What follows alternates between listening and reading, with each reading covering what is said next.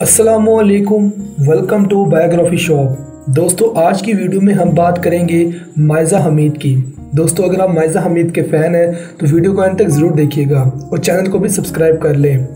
मायजा हमीद एक पाकिस्तानी सरकारी एहलकार हैं, जो अगस्त 2018 से पाकिस्तान की कौमी असम्बली के एक फ़र्द हैं। पहले ही वो जून 2013 से मई 2018 तक पाकिस्तान कौमी असम्बली की रुकन थी। 2008 से पंजाब की सूबाई असम्बली से सिर्फ़ खातून रहीं। उन्हें 2008 के पाकिस्तानी अमूमी सियासी फैसले में ख़वान के लिए महफूज करदा नशस्त पर Pakistan Muslim League Noon M P M L N की एक और अब आने वाली रुकन पंजाब असम्बली के लिए मुंतखब किया गया। उन्हें 2013 के आम सियासी फैसले में पंजाब से ख़वान के लिए महफूज करदा नशस्त पर मुस्लिम लीग नून की अब और आने वाले रुकन के तौर पर पाकिस्तानी कौमी असम्बली के लिए मुंतखब किया गया था। जनवरी 2017 में उन्हें वफाक पार्लिमानी सेक्रेटरी बरए capital administration and development division के तौर पर नामजद किया गया।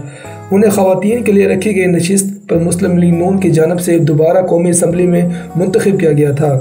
2018 के पाकिस्तानी अमूमी सियासी फैसले में पंजाब से इसके सियासी फैसले के बाद पाकिस्तान तहरीक इंसाफ ने इस्लामाबाद हाई कोर्ट में अपनी सियासी दौड़ को चैलेंज करने की दरख्वास्त रिकॉर्ड कराई।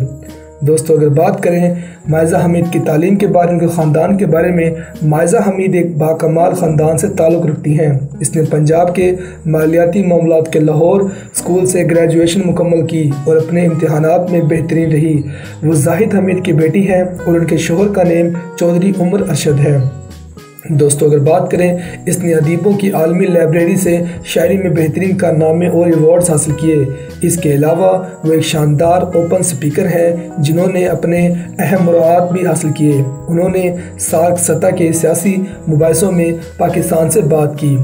वल अगर बात करें, Maiza Hameed P M L N Rahim या खान से ख़ानदानी पस मंज़र रखने वाली जो हामी रही हैं, वो पाकिस्तान में तरक्की पजीरी सरकारी की अहलकार की नई फ़र्द हैं। उन्हें 2013 की आम सियासी दौर में पंजाब से खवतिन की नशस्त के लिए पाकिस्तान मुस्लिम लीग नून के टिकट पर कौमी असम्बली से एक फ़र्द के तौर पर मुंतखब किया गया था। इसने अपनी सियासी कैरियर का आगाज़ इस वक्त किया जब उन्हें एम पी के नशस्त की सियासी दौड़ में चैलेंज करने के लिए इनके इज्तम का कार्ड दिया गया। वो 2008 में जीत गई और 2013 तक अपनी जगह शामिल रहीं।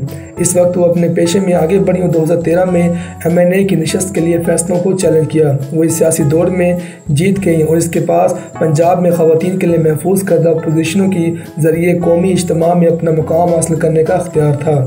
बल अगर बात करें इज्तम के लिए इनकी कोशिशों को सिला इस वक्त मिला, जब उन्हें वफाकी पार्लिमानी सेक्रेटरी बनाए capital administration and development division का अहदा दिया गया। वो मीडिया के सामने अपनी पार्टी की नुमाइंदा करने के लिए लाजवाब रिश्तेदाराना सलाहितें और बहुत सी महारतें रखती हैं। वो किसी भी समाजी मसले के ख़िलाफ़ आवाज़ उठाती हैं और उनके हल के लिए जवाब भी देती हैं। तो दोस्तों, ये थी इनकी बायोग्राफी उम्मीद करते हैं वीडियो आपको पसंद आएगी। मिलते हैं नेक्स्ट वीडियो में, तब तक के लिए अल्लाह हाफिज़।